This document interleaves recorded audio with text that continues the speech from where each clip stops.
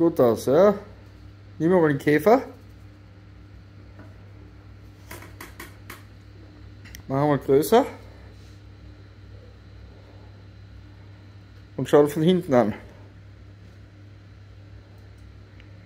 Kannst du noch mit die Fingerspitzen nehmen.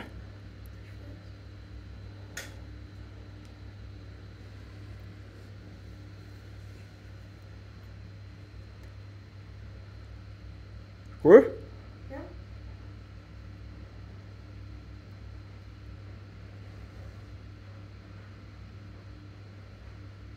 Nimm nochmal den Schmetterling. Kommst hin und schau doch mal, machen wir mal größer. Viel größer.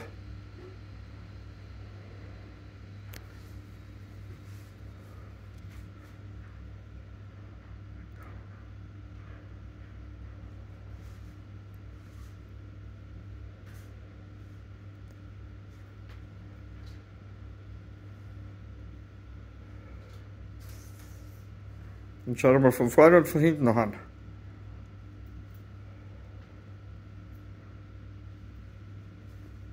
best.